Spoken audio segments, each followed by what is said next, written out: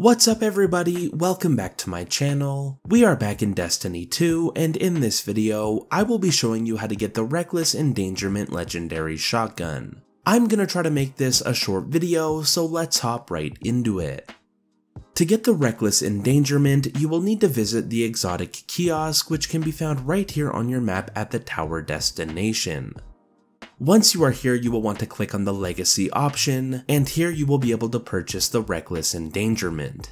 This weapon will cost you 75,000 Glimmer, 100 Legendary Shards, 2 Enhancement Prisms, and 1 Ascendant Shard. This is currently the only way to get this weapon in Destiny 2.